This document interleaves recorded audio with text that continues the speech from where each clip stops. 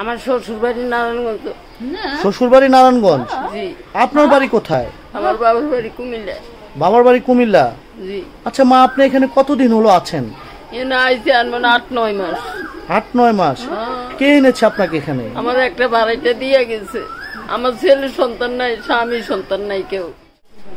সুপ্রিয় দর্শক আসসালামু আলাইকুম। দেশ ও দেশের বাইরে থেকে যে সকল ভাই বোনেরা শত ব্যস্ততার মাঝেও আমাদের ইউটিউব চ্যানেলে ভিডিওটি প্লে করেছেন তাদের সবাইকে আন্তরিক প্রীতি ও শুভেচ্ছা জানিয়ে শুরু করছি আমাদের নিয়মিত অনুষ্ঠান জীবনের গল্প।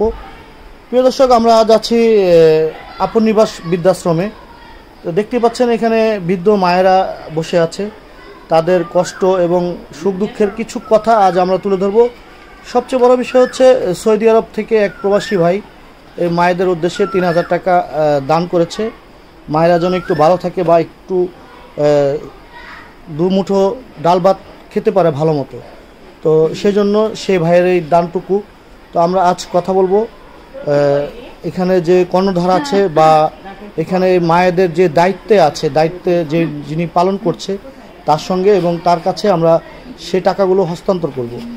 তো একটু মায়েদের সঙ্গে আমরা কথা বলতে পারি কিনা দেখি। আসসালামু আলাইকুম। কথা বলতে পারে না? ওয়ালাইকুম সালাম। চক্ষু দেয় না বাজার। চোখে দেখেন না? না না। আচ্ছা আপনার বাড়ি কোথায়? আপনি বলতে পারেন? আমার শ্বশুর বাড়ি নারায়ণগঞ্জ। শ্বশুর বাড়ি নারায়ণগঞ্জ? আপনার বাড়ি কোথায়? আমার বাবার বাড়ি কুমিল্লা। বাবার বাড়ি কুমিল্লা? আচ্ছা মা আপনি এখানে কতদিন হলো আছেন? আনবেন আট নয় মাস। আট নয় মাস? কে এনেছে আপনাকে এখানে? আমার একটা বাড়াইটা দিয়ে গেছে। আমার ছেলে সন্তান নাই স্বামী সন্তান নাই কেউ। ছেলে সন্তান স্বামী সন্তান নেই? না। আট মাস হলো এখানে আছেন? আপনাকে ভাড়াটিয়া এক- দিয়ে গেছে এখানে? আচ্ছা তো আপনার ছেলে সন্তান নাই কেন? আপনার শ্বশুর বাড়ি কুমিল্লা বললেন। না বাবার বাড়ি কুমিল্লা। বাবার বাড়ি কুমিল্লা? হ্যাঁ। শ্বশুর বাড়ি নারায়ণগঞ্জ? হ্যাঁ। তো শ্বশুর বাড়ি নারায়ণগঞ্জ হলে আপনার তো বিয়ে হয়েছে আপনার ছেলে সন্তান কোথায় আছে? এরা আমার জায়গা দেয় না। ওরা জায়গা দেয় না? না। কেন? আমার স্বামী মরে গেছে এই জন্য আমার জায়গা দেয় না আমার সন্তান নাই। আমাদের মায়েদের সাথে এরকম গল্প করার ই না তো প্রিয় দর্শক, এখানে আসলে এ ধরনের বৃদ্ধ মায়েরা যারা আছে, এখানে টোটাল পঁচাশি জন মা আছে। তাদের গ্রামের বাড়ি কোথায় বা তারা মানসিক ভারসাম্যহীন, তাদের নিজের পরিচয় তারা ঠিকমতো বলতে পারে না এবং ঠিকমতো কাউকে চিনেও না। এই সকল মায়েদেরকে এনে এখানে আপন নিবাস বৃদ্ধাশ্রমে আশ্রয় দিয়েছে এবং তাদেরকে এখানে নিবিড়ভাবে খাবার দাবার এবং চিকিৎসা সুব্যবস্থা সব কিছুই আছে এখানে। তো প্রিয় দর্শক আমরা ভিডিওটি বেশি লম্বা করব না। এখানে মায়েদের জন্য যে ভাইটি তিন হাজার টাকা দিয়েছে আমি সেই টাকাগুলো মায়েদের উদ্দেশ্যে হস্তান্তর করে আমি এখনই ভিডিও- থেকে বিদায় নিব। তো আপু আসসালামু আলাইকুম। ভালো আছেন তো না? আচ্ছা প্রবাস থেকে এক ভাই তিন হাজার টাকা দিয়েছে এই বৃদ্ধাশ্রমের উদ্দেশ্যেই। এই যে আপনি টাকাটা নেন তো প্রিয় দর্শক, দেখেন, ঠিক আছে কিনা? টাকাটা ঠিক আছে কিনা একটু গুনে দেখেন। ঠিক আছে? আচ্ছা সেটি যে ভাই টাকাটা দিয়েছে, মূলত উদ্দেশ্য হচ্ছে তার এই ভিডিওটা দেখার পরে আরও প্রবাসী ভাইরা যদি আপনাদের পাশে এসে দাঁড়ায় বা আপনাদেরকে একটু আর্থিক সহযোগিতা করতে পারে, সেই সুবাদেই তিনি টাকাটা দিয়েছে। তো সে বিষয়ে আপনার কিছু বলার আছে সে ভাইটির বিষয়ে? দিচ্ছে, তাকে অসংখ্য ধন্যবাদ। মায়েদের পাশে দাঁড়াইছে রোজার দিন একটু ইফতারি খেতে পারবে মায়েরা।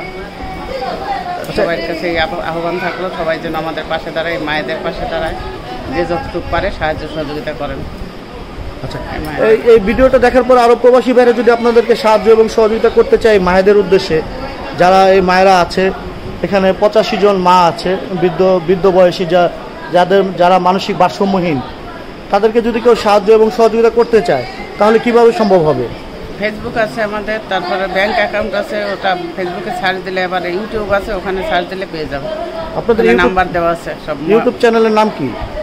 আপন নিবাস সম্ভবত। আপন নিবাস?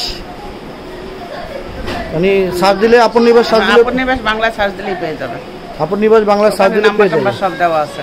ব্যাংক অ্যাকাউন্ট নাম্বার দেওয়া আছে। সব কিছুই দেওয়া সব দেওয়া আছে বিকাশ নাম্বার দেওয়া আছে সব কিছু দেওয়া আছে ওখানে। আচ্ছা এছাড়াও যদি আপনাদের সঙ্গে কেউ মোবাইলে যোগাযোগ করতে চায় নাম্বার তো আছে আমাদের পরিচালকের নাম্বার আছে ওখানে ওখানে দিলেই পাবে। আপনাদের ইউটিউব চ্যানেলে ঢুকে পরিচালকের যে নাম্বারটি আছে জি। সেখানে ফোন দিলে হবে। সেখানে ফোন দিলেই হবে। আচ্ছা।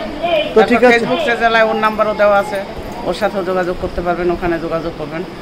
ফেসবুক পেজে নাম্বার দেওয়া আছে? জি জি। আচ্ছা।